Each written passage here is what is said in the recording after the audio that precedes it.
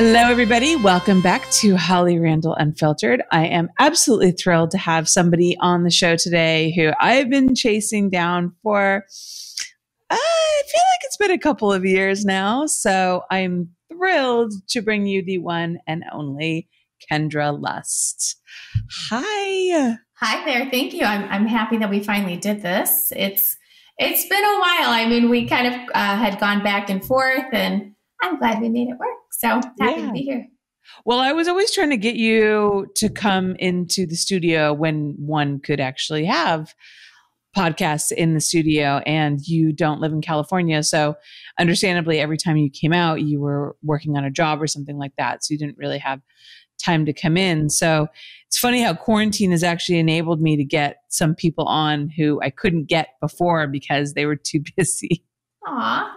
Because they would have locked you down. Right. That's okay. I mean, I think, you know, it's not easy. However, you know, for us all, it's a, it's a new norm, but at this mm-hmm. point, you know, it is what it is. And it's our, it's our new norm and we just have to go with it. So how have you been handling uh, the quarantine? I know you uh, do a lot of work from home. I know you've always been very much like the entrepreneur businesswoman type. So, have you found ways to take advantage of this like forced kind of pause on your life? You know, I am always busy. I'm always doing something. I don't sit still very well. So, for me, it's it's kind of forced me to stay home and and not do as much traveling. You know, I was traveling probably 7 to 10 days a month. And now a lot of work I can do from home, which is great. Uh, I'm investing in some real estate so that it, it's a seller's market, unfortunately. However, there are so many homes right now, and you know they're they're getting um, bought up fast. But there's just so many in the area that I want. So um, time is of the essence. I've been doing that OnlyFans podcast. Just um, yeah, that's about it. So enjoying some uh, family time. So it's good.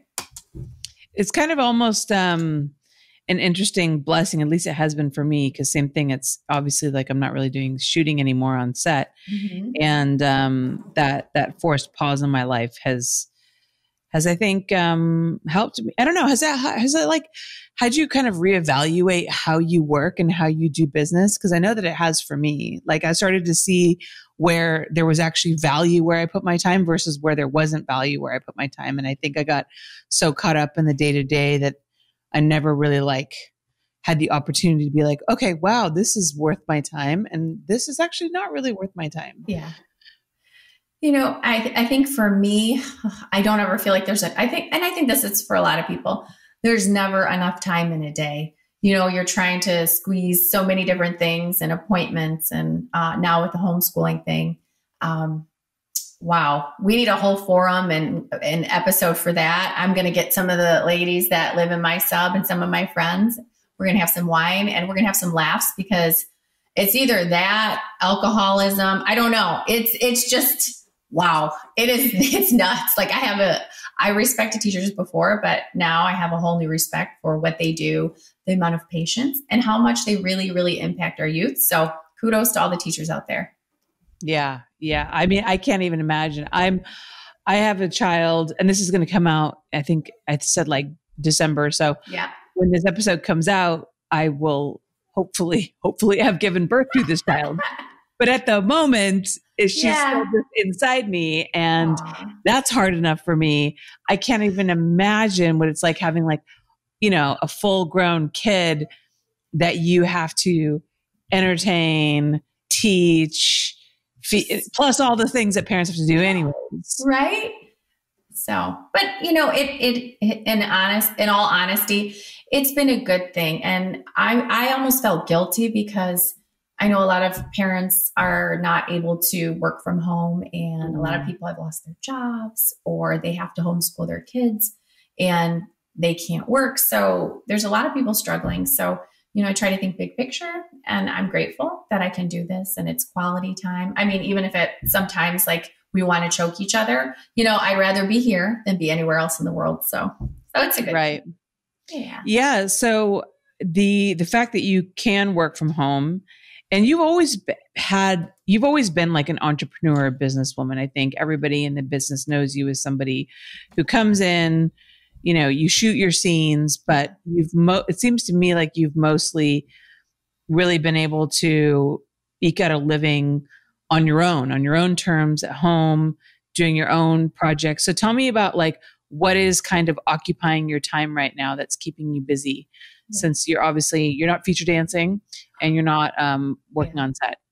Yes, and you know I miss that. I really do because it's a way to connect with fans. Um, aside from you know some of the social media platforms that we use, but I don't know. It's live entertainment, and I think nothing beats seeing someone in the flesh. So I'm a little bummed about that, but you know uh, it's okay. I think after the election, and that's all I'll say. This will probably all be over soon. So um, aside from that, obviously a lot of the girls, and I mean, even non industry uh, people, cam girls, um, Bella Thorne. I mean, every Bella Thorne, you heard about that. Everybody is kind of jumping on the OnlyFans bandwagon, and I think it's a good thing. Um, uh, I mean, I don't ever.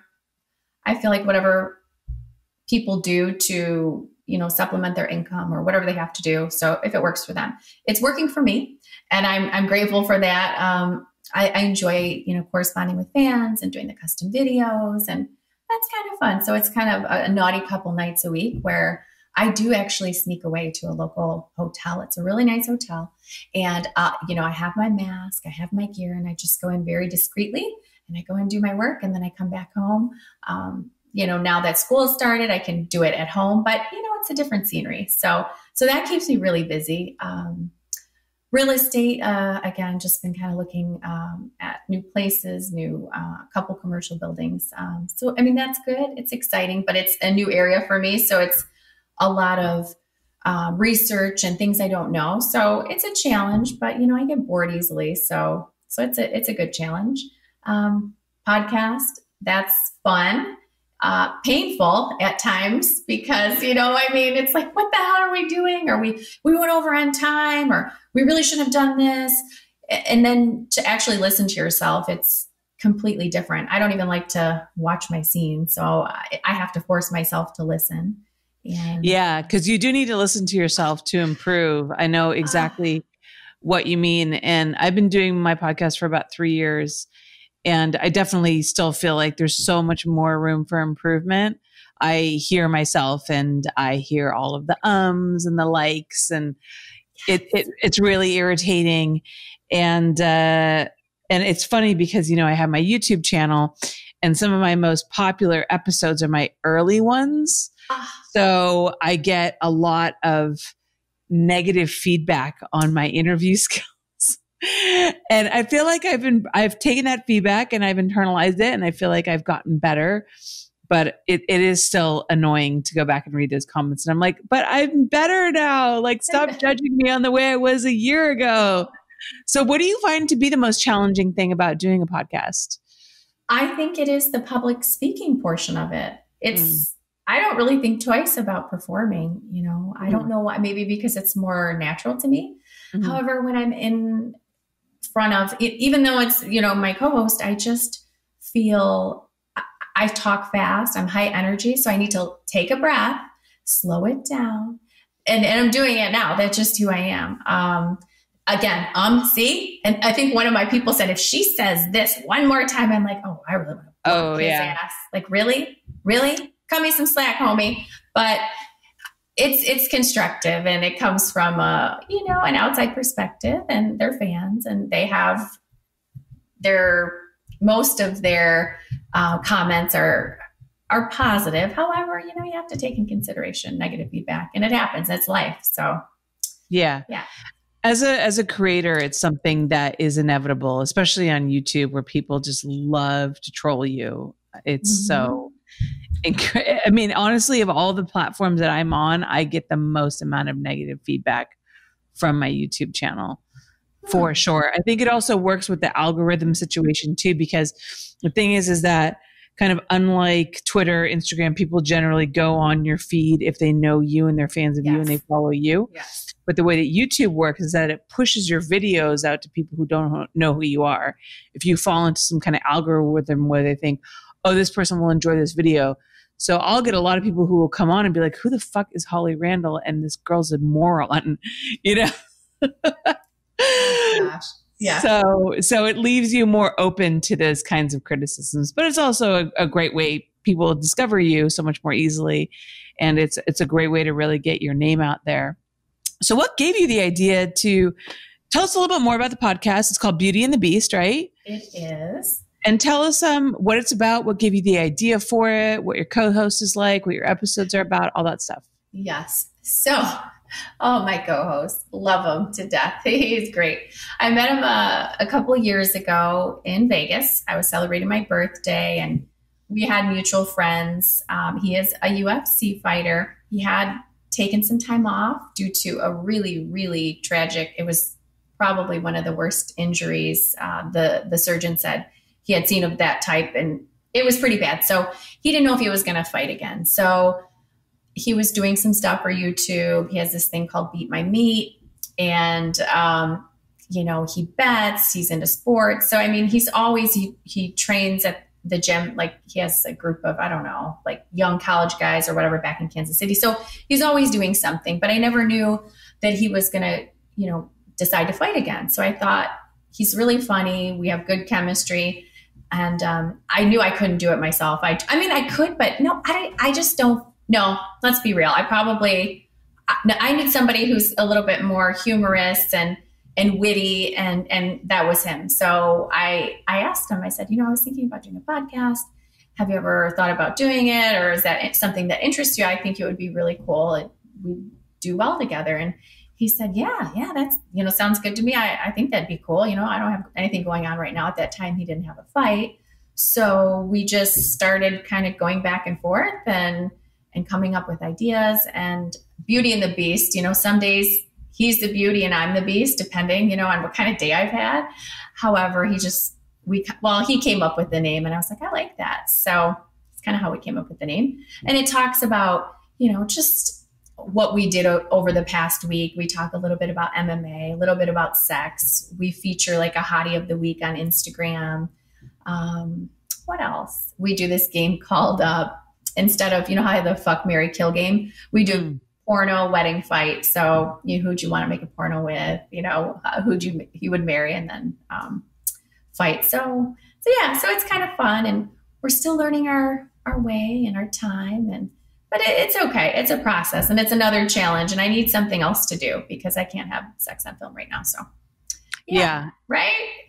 And it's it's nice to use your um you know your your image and your popularity to expand into other areas and podcasting yeah. is definitely something that's growing so whenever people ask me they're like do you think i should get into podcasting i was like yeah mm-hmm. it's it's interesting how um you know, and obviously, like, uh, do you guys release on the audio platforms as well as we YouTube? Spotify, okay. uh, okay. Apple, and Apple. Mm-hmm. Isn't it interesting how it's kind of like come back around to radio almost? You know, in this these these technological times where obviously video continues to improve, people are still very much drawn to just the audio format. Yes. Yeah, I think so too. And I think oh gosh, my WhatsApp, I'm getting a stranger calling. That's okay. I've had a FaceTime call from a who knows number. I can only imagine. I get those sometimes. So you probably, I do, and you probably get them much worse than me. I think, yeah, I don't know. We're all, they're all calling. Everyone's calling. You know, I don't know how people, the girls, uh, I don't really deal with it, but um, uh, yeah. So getting back to what you're saying, I think too, it, it's just a lack of time. A lot of people just, they don't have a lot of time. So it's easy to kind of listen to a podcast while you're doing the dishes or even like an audio book. You know, mm-hmm. it's instead of sitting down to read, a lot of times I have a hard time just sitting still, period. So it's nice to just upload a book or listen to a podcast. So, yeah. Yeah. So, um, are you guys ever like gonna do guests, or are you just gonna keep it like between the two of you? Have you have you decided or are you still kind of filling it out? Oh yeah, we have to have guests. It's like who wants to eat the same pizza, you know, every day? It just for me, I, I feel it's gonna get kind of I don't want to say lame, but you know, we're gonna have things to talk about. But it's nice to highlight someone else or bring someone else on and you know, spice it up. So absolutely. So, but you haven't done any guests yet, but no, I, I said, I think we're ready, but then I get nervous. I ah, maybe we're not, but it's like, I feel like having a kid. Are you ever really ready? But maybe we should be a little bit more ready. So I, I you know, we're at our 10th podcast. We should probably wait a little bit longer. You know, my guy disagrees. He said, just do it. And it's like, oh.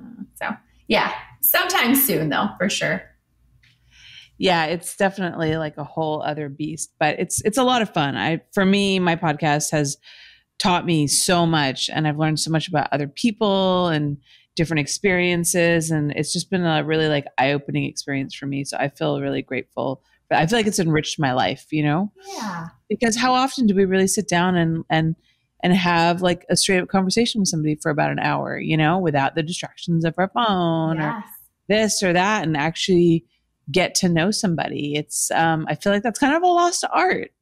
It is absolutely it is. I I tried telling myself, okay, I am going to set my phone down between these hours of the day. Right? It doesn't mm-hmm. happen because people are on different time zones and and you know and then i get worried too oh gosh if there's an emergency my mom's in florida and if i miss it so it's you know it's a necessary evil unfortunately yeah. Have you um uh, I haven't watched that documentary that everyone keeps talking about the social dilemma.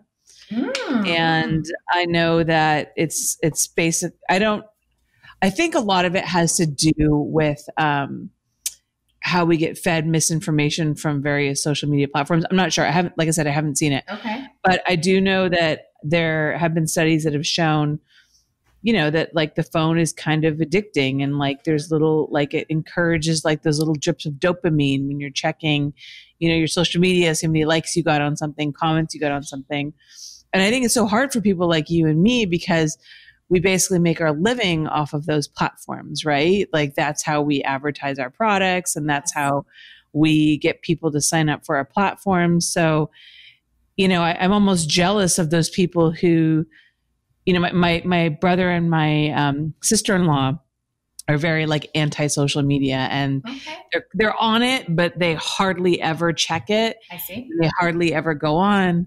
Mm-hmm. And I'm always, part of me is kind of jealous, you know, that they, they don't need to do that. Like they can live their lives outside of that bubble. Whereas I can't. If anything, I don't post on social media enough. Yes. You know?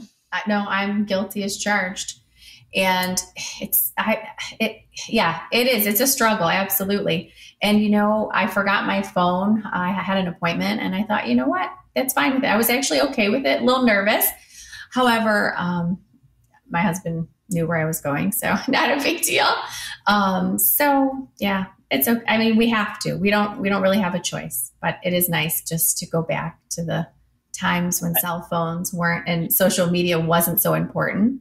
I'll have to watch that though. I'm I'm actually interested in seeing I, I guess learning what they, they the studies found uh, based upon that because I do believe social media can be so negative for some of these uh, young teens and it has such a negative impact on them and it it it's not healthy you know uh, for them so so I don't know yeah, you know, it's it's crazy. I think that that you and I are so fortunate to have grown up in a time when cell phones didn't exist.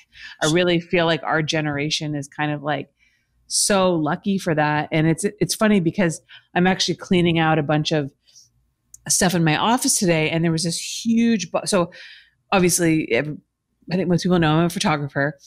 I've been shooting pictures constantly ever since I was I got my first camera, my first film camera at 12. Okay. Um, but I've been shooting pictures like constantly ever since then, like all the time. So I have so many pictures of all my friends from elementary school, high school, through college, like just an insane amount of photos all on film. Aww. So I was going through all of the pictures today and just finding all of these like hilarious photos of me, like stupid photos of me when I was a dumb kid, like smoking bong loads and, you know, just being like a dumb teenager and like, you know, but it's all like, none of it's online because yeah, it exists back then. I have all the pictures in the next room, but it's like, it's my, it's on film. It's mine. Like I can control yes, it. Yes. And I just feel so, so grateful for that. And um, even, you know, my husband and I were kind of talking about, you know, our, our daughter. And I, um, I, I already like got her Instagram handle, like her full, her full name, just so that she could have it. But he was just like, I don't think that you should use it. I don't think you should post anything on it because, yeah, you know, we need to give her the option to decide what how visible she wants to be online because now once you're online and your information gets out there, it's like you are you're in the system and it's just it's just you have no privacy. Yeah, absolutely. You know, he's a private investigator, so he kind of knows all about that. Yes. I kind of agree with your husband. Yeah. I'm not gonna, you know, I I'm very we have very different views on Instagram with our little one. Mm. And I just, I wanted it on private and he says I monitor it every day and, and he does. However, I just don't like it. I don't like her being exposed with all of the predators out there. I just, I don't, I need to protect her and that, you know, and, and he does. And I mean, I know how to handle myself. However, you don't know every situation. You know, you can't forecast the future. And I just feel I I don't I just don't want to expose her to that. It's just too soon. Too soon. Yeah. And also too, like her ability to access information that she's not ready for. Yes. Ready absolutely. to understand that kind of thing. Yeah, it's it's crazy. I don't I, I don't know. I, part of me like selfishly hopes that by the time my daughter is old enough to like go online that somehow we would have figured out how to like handle kids online appropriately or there'll be like safeguards in place like the world will have figured it out by then because right now i mean with you with your kid you're going through that yes. whole like people are trying to navigate that now absolutely yeah, it's all going to come out in the wash, Holly. You know, it is. And, and so yeah. funny because, like, some of my neighbors, funny story. Let me just tell you about this one. I, I don't know if I'm going bird walking too much off the, the, the plan, but I moved in and apparently this sub, it's a small sub, and the, the real estate agent, you know, apparently knew who I was, never told me that for the he's selling the new houses. I'm like, okay, cool. So I'm really trying to go under the radar, like look real, just you know, plain Jane. Anyway, well, he told the entire sub. So before I even moved into the house, they all knew. So, you know, I have people coming up selling Girl Scout cookies. Of course, I'm going to buy Girl Scout cookies. I mean, we all are neighbors. They're delicious. And yeah, right. And they're delicious. Exactly. mint, uh, the thin mints or the little, oh my God. So, yeah, come to find out, you know, um, but that's okay. But, you know, in all honesty, I think people had a stereotype of what somebody in the adult industry does or, or looks like or how they behave. And I think um, when they got to actually know me, uh, then they didn't have to give me a chance. I really didn't care, but I was hoping that we could all get along. You know, it doesn't always happen. They were just like, wow, you know. So I, I like that. Um, I, I don't know where I'm going with this, but it's nice to to blend and and get along. I totally lost my point of my story now. Oh, being exposed. So it, it's kind of a good thing because you know uh, our little one sees that other people are accepting that I'm just normal, whatever normal is. But mm-hmm. we're not having wild orgies at our house every night. Okay, it's not a free for all. You know, fuck fast. We're not doing all kinds of crazy things that people think. You know, we see that those types of things for, you know, vacations and getaways and you know, yeah. we don't do that here. So uh, but yeah, it's coming. It's coming. yeah, I mean, it's funny the the misconceptions that people have about uh, the adult industry and the people in it, mm-hmm. which is another reason why I want to do this podcast. And one of the one of the better, you know, I know earlier I was talking about all the negative stuff that I get from people. Mm-hmm but I also get um, really positive feedback from people about like, wow, I didn't realize like porn stars could be so cool and so normal and so smart and so together and just like you and me. And I was like, yeah, yeah, they they're just we're all just normal people. Our jobs are a little different, but yes. for the most part, like, you know, they're wonderful people. Yeah, I like that. So, so I'm glad. I'm glad that they're giving you positive feedback regarding that because you know we're like the black sheep and whatever yeah. it is what it is. But yeah, but we know that going into this, we're we open ourselves up to criticism, and if you don't have thick skin, you're not going to be able to to handle it, or you know you won't succeed. So. That is true.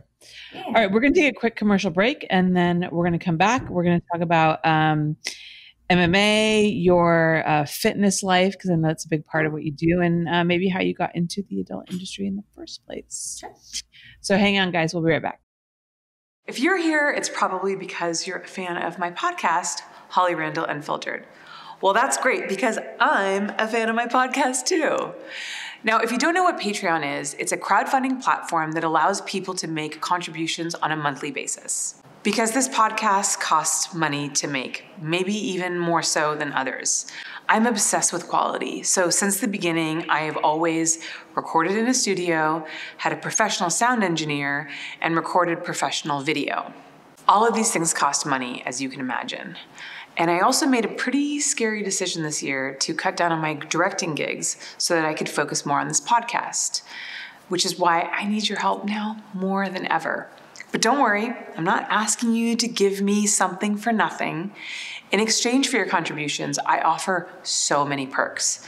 For example, access to the live streams of all of my interviews, a bonus podcast that I do called My LA Porn Life, Q&As where the stars answer your specific questions, behind the scenes interviews, merchandise such as mugs, shirts, and stickers, access to my private Snapchat, and so much more. You can join for as little as $5 a month and help me change the way the world sees the adult industry and sex work. So take a look around and see everything that I have to offer. I really hope that you'll join and be a part of our little community. All right, so we're back. Um, now, one of the things that is synonymous with the name Kendra Lust is fitness. You are so you have the, you're in incredible shape. You're always posting pictures of yourself at the gym. Have you always really been into fitness, and, and what drives you in that way? Well, thank you. First of all, I I've always really been active as far as like an athlete. You know, not obviously on a professional level, but I've always just been an active kid. I've played sports for as long as I can remember. And what what were some of your like main sports that you played? I loved basketball. So mm. I played. I remember going to school. This was elementary, and my dad, after I got done with my first grade homework, not that much back then, you know, I, he would set up chairs and then he'd make me dribble every day, you know, in and out of chairs, in and out of chairs. And I, why is he making me do this? Like, this is torture. But I was very, hey, I'm a very good ball handler in and out of the bedroom because of that. So, so, so let's just say I can juggle some balls and, uh, you know, I can uh, penetrate that, uh, uh, that defense. So, so yeah, um, so uh, basketball, I played softball, and you know I was pretty good at most sports. I was just naturally pretty athletically inclined. And then in I think it was like my freshman year in high school, I discovered the mezzanine upstairs, and it was a place where you could lift weights. So um, I just started lifting weights and trying, you know, messing around in there. There was an older girl who kind of taught me some things, and just been working out ever since. I'm to the point now you know, it's a struggle, especially during this pandemic. I do it just because if I don't do it, I don't even feel right. I just get bitchy. And my mm-hmm. husband's like, okay, you really need to do something because, uh, you know, you're crabbing at me and I didn't do anything to go work out. You'll feel better. And I do, you know, sometimes just getting out.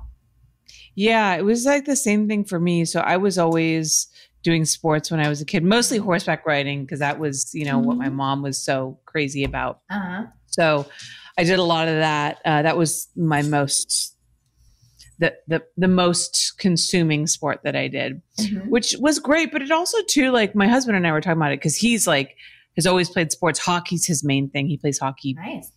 all the time, sometimes twice a day. Yesterday he played two hockey games. Um, so he's like fanatical about hockey, and uh, and we were just talking about how important it is. I think to raise kids with sports. Yes. Because the exercise is really important. but also too like the the the teamwork is really important mm-hmm. and learning how to communicate with other people and socialize and work as a team.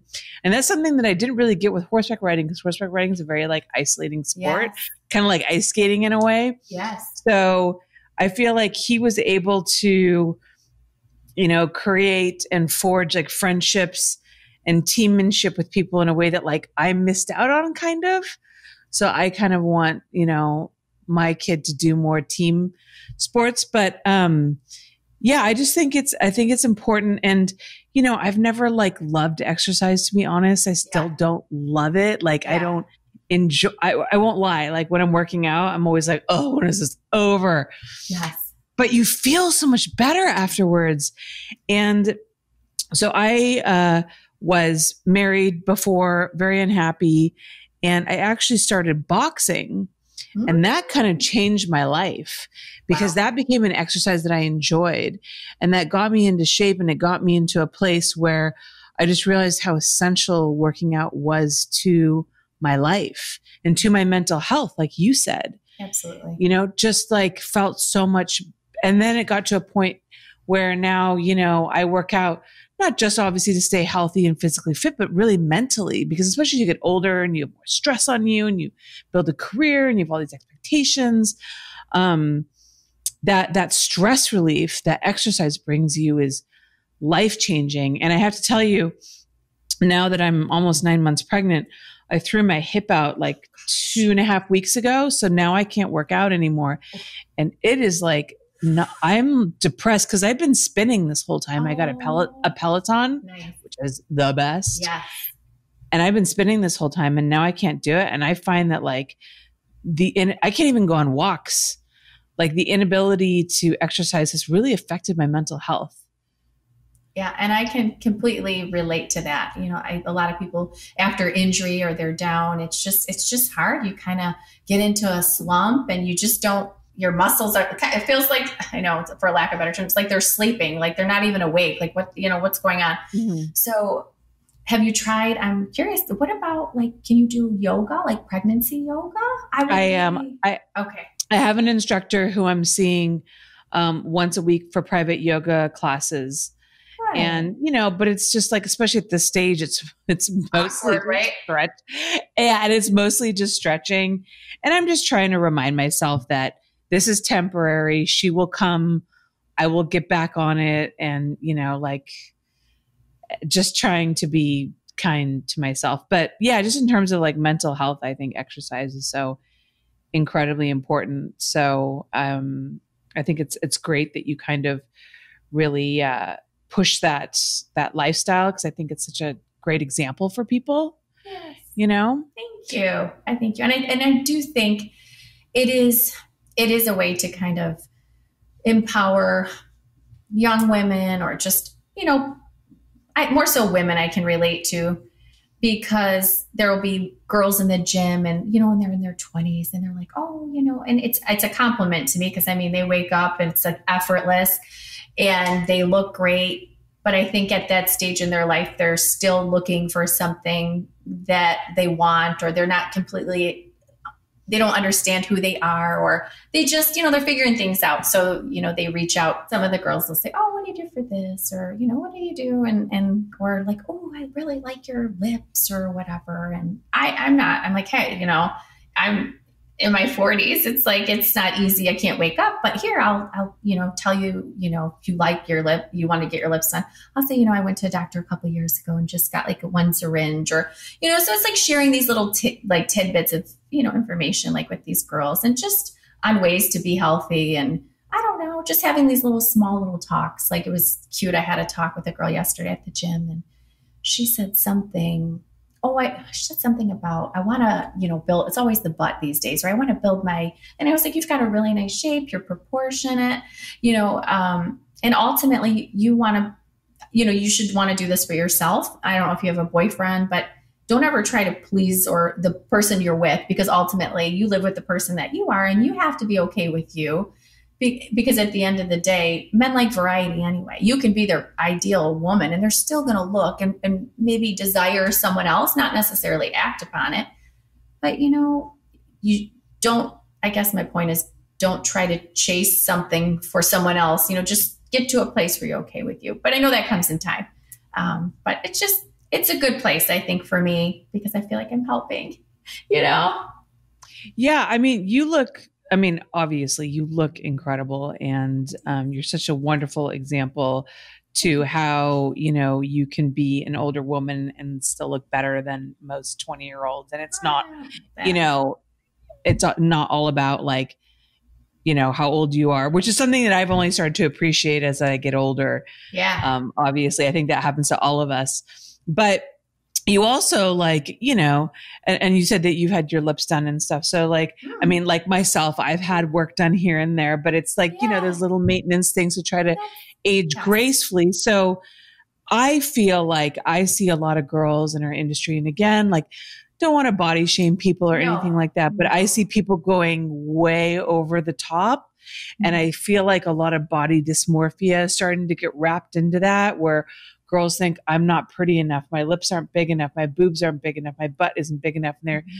starting to do these things to themselves that I don't know, just I'm, I'm, to me, they look weird. And I feel like to them, they're still not happy with how they look because they continue to do more and more. So, how do you feel about that? Like, do you see girls in the industry and you think like, oh my God, like, you know, how, how do, how is your thought process when you see that? You know, I was, you know, one of those girls up until not too long ago and, and, you know, it's not easy to admit that. However, I feel the industry, I'm not, I don't want to badmouth the industry because the industry doesn't make you feel a certain way. Nobody can make you feel a certain way unless you allow them to do so.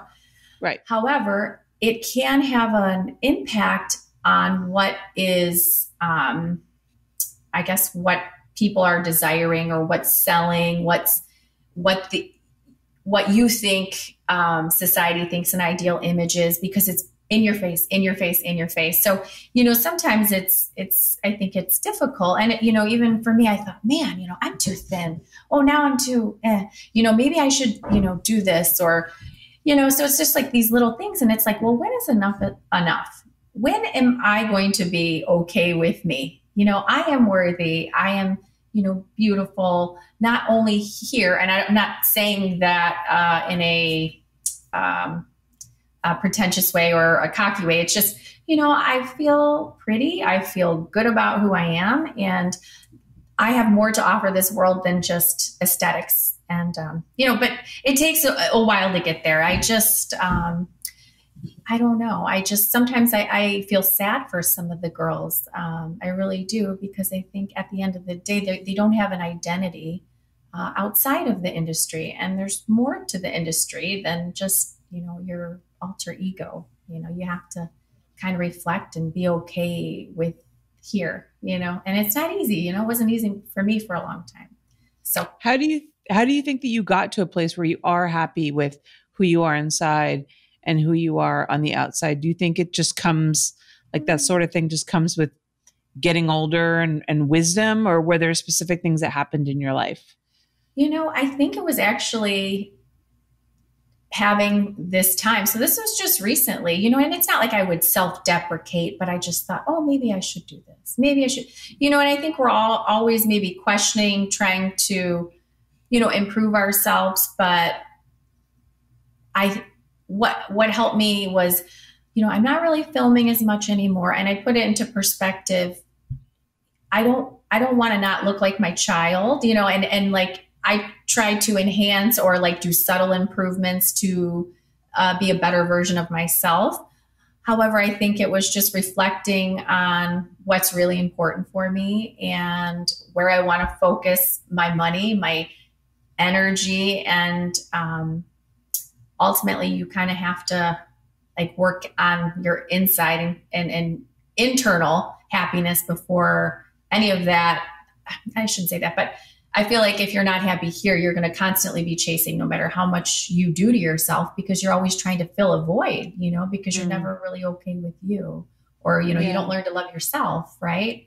So, um, it's, it's, it's always a work in progress. I think, um, it's just part of it i think too is just how we're we're made our brain chemistry and our personality you know those things. But you know the industry is not always it, it's positive for me or at least i felt it was like as far as you know exploring my sexuality and putting it out there and um, owning that. But sometimes you know it's it's not always easy to to be in the spotlight you know but yeah. I mean, I think you can say that just about the entertainment industry in mm-hmm. general. You know, anything yeah. that's focusing on the way that you look and having to sell your image is obviously going to give you insecurities about that. Yeah. So that's, that's, I think, totally inevitable. Mm-hmm. Um, so how do you, like, is there anything specific that you do that makes you feel like good about yourself um, that makes you that helps you build your own self-esteem? Like maybe i don't know could you do, would you have any advice for maybe girls that are coming into the industry or or or want to put themselves in that spotlight? Maybe some things that you wish you had done better earlier in your career or things that you think you figured out by now?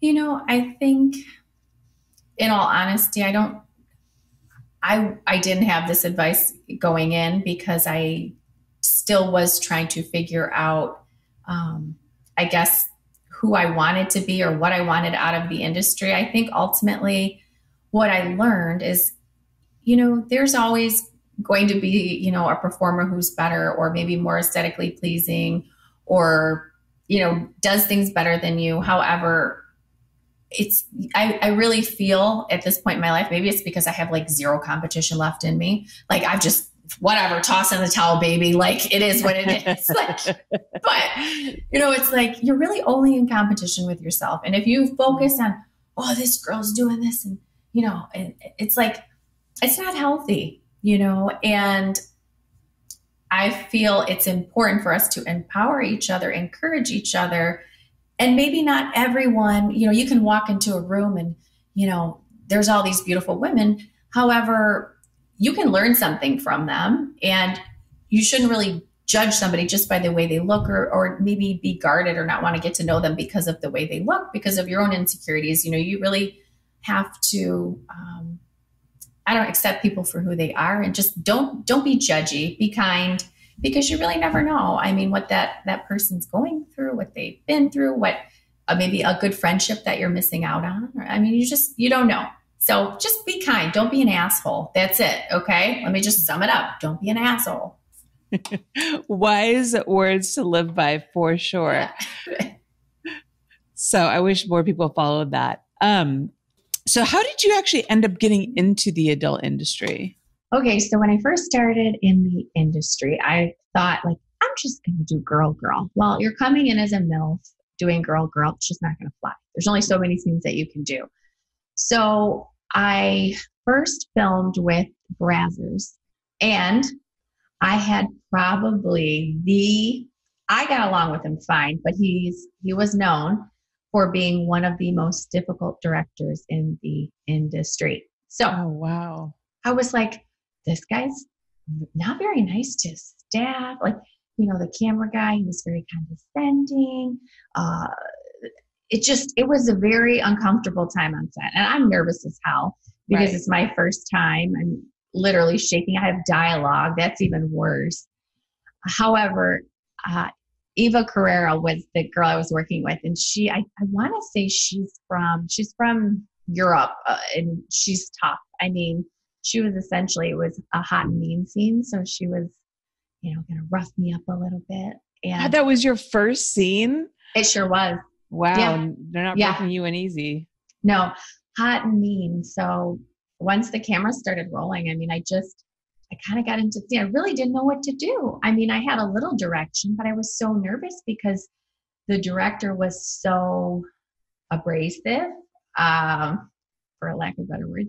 And I was just so nervous, like he was going to yell at me or something. And, and he didn't. We ended up talking about shoes. And I mean, he was really nice and we got along great. However, I felt really bad like he just yeah. beat them up, you know, but whatever. Uh, so it went well though. I mean, it was, you know, a girl, girl. She was kind of roughing me up on the bed and commanding me to do all these things. And I can be quite submissive. Uh, just depends on my who I'm in the you know the room with or who I'm in the scene with. So I was totally fine with taking commands from her. She definitely she did play the the role well. It was very natural. She'd been doing it for a while, and I had a lot of fun with it. I was just like, okay, what do I do now? Like I I don't know.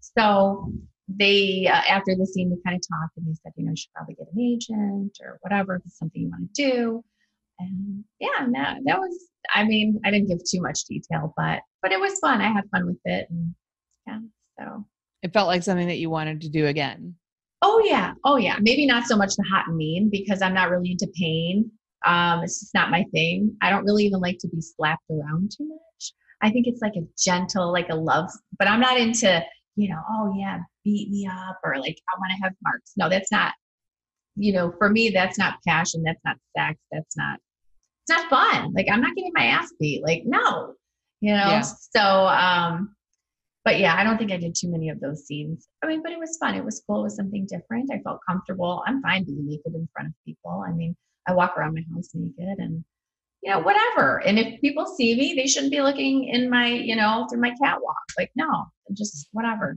I, you know, I'm free. This is my house. And you know, yeah. So. What are your favorite kinds of scenes to do? Do you prefer to do more romantic scenes? Do you like scenes with dialogue? Do you prefer to not have a storyline? Like, what's your ideal kind of scene that you like to shoot? Well, it's definitely not VR. I, Jesus Lord it's like, wait, here's here's how you do the kiss. Okay, now tell you, here's how you're gonna, you know, you have to pretend like you're kissing the person in the camera. So I mean, you look like a complete idiot because you have these goggles, and the poor guy, you can't see his face. All you see is like, you know, like this, and you're like, you know, you're kissing, you're, you know, so you feel like an ass, right? So you're the worst guy, you know. It's like I feel bad for the guy because he has to sit there like a robot, like you know, and keep it together. I'm like, yeah, they can't even move. I, I mean, know. it's really tough for a guy to shoot VR. I had to feed a guy soup one time. Come here. anyway, so I would have to say, I mean, I like Gonzo because a lot of times you just go in and there's not much dialogue, so we can be whoever we want to be, and you just go into sex and mm-hmm. I like that. But then sometimes I do like the storyline. They're funny, you know. They kind of set the mood, and people can picture themselves being, you know, the pizza boy delivering a pizza, and I drag him in, and you know, take advantage of him. He gets the tip. Actually, he gives me the tip, and mm-hmm. you know, so it's fun. Um, so, but features are fun, but they're just long and grueling, and I don't know. My acting, I feel could be better. So it's not like my favorite. So yeah, probably Gonzo. Right. Yeah. Yeah. That makes sense. Just kind mm-hmm. of gets you right into the action, yeah. what everybody came there to see. Right, right. But sometimes the build up too, you know, even when I watch it, I'm like, oh, this is hot. Like, you know, I like when, you know, he's talking to her and the, you know, the facial expressions, a little bit of tension, but not too drawn out. Who are some of your favorite performers to work with? Hmm. You know, um, there's so many and then i feel like i'm leaving people out I know it's a it's, trust me, it's a difficult question. I oh hate gosh. it when people ask me the same thing because I'm like, I love yes. everybody. I, I really, I mean, well, I really don't. There's some guys that I could take or leave. Like I think, and I'm just like, seriously, don't open your mouth. Like I'm just gonna grudge. Um, but I really like. Oh gosh, there's just so many amazing performers, and there's so many people like I haven't even had a chance to work with. Um, but some of my favorites that come to mind uh, definitely Abigail Mac. I love her. She's so sweet, sexual, yeah. she's fun. Um, I just, I don't know. I have fun when I'm on set with her. Um, oh my gosh. I, I mean, I love Riley Reid. She was one of my uh, first, probably one of the first performers I worked with. And uh, she's a lot of fun. She's bubbly, go with the flow. And I like that. You know, she likes what she's doing. And same with India Summer. I really love working with her. She's just so, she kind of has like this very, not a hippie, but just like this peace and love for all, but she'll like that. So she's she's a lot of fun, and I haven't worked with her in a long time, so that would be nice to rekindle a little something. She has a very like I know what you mean when you say hippie. She's a very serene, kind of calming presence. Yeah. You know, like she could lead like a meditation group. It's like her voice is very soothing. Yes. But she's also really into sex and a great performer and very passionate. So it's an intoxicating uh, mix. Yes. So I mean, as far as some of the girls, um, and then you know, guys, I, I'm I'm always seem to gravitate to the you know the veterans who just you know I mean Manuel I always they're doing. That's right. And they I mean I think it's just experience too. But there's mm-hmm. some young you know some young guys that um pretty good. There was um oh god no I can't think of his name. It's terrible. So terrible I can't think of his name. But yeah definitely Manuel uh, Keiran Lee is great to work with. Um he always makes it fun and exciting and you have a good time, you know, even when I'm messing up dialogue. Um, gosh, Johnny Castle, I love him. Now he's more like a, I think like a brother than, you know, so it's kind of mm-hmm. awkward or it would be. But there's mm-hmm. just so many. Those are just a few. And I could sit here and I don't know. You could Name probably ask me to, yeah, I keep going on and on and on. So yeah, yeah, yeah. Yeah. Well, thank you so much, Kendra, for coming on. It was such a pleasure to have you and getting to know you. Thank you. Can you let everybody know where they can find you online and where they can uh, access your podcast? Yeah, so the podcast is called Beauty and the Beast Podcast. It is available on Apple, it is on Spotify and uh, YouTube. And then, oh gosh, Instagram is Kendra Lust with the check mark. And uh, I only say that because people sometimes will get the one guy got catfished, and I don't want people to. I don't ask for money. I don't. That's not me. So so no. So uh, Instagram's Kendra Lust, as well as Twitter uh, is Kendra Lust, and uh, all in with KendraLust.com. Yeah, and that's pretty much it. Fantastic. And you guys can find me at Holly Randall on Instagram and on Twitter want to support this podcast, go to patreon.com slash Holly Randall Unfiltered. Thank you so much for joining us. Kendra, thank, thank you so you. much for your time. Thank you. And we will see you guys next time. Thank you.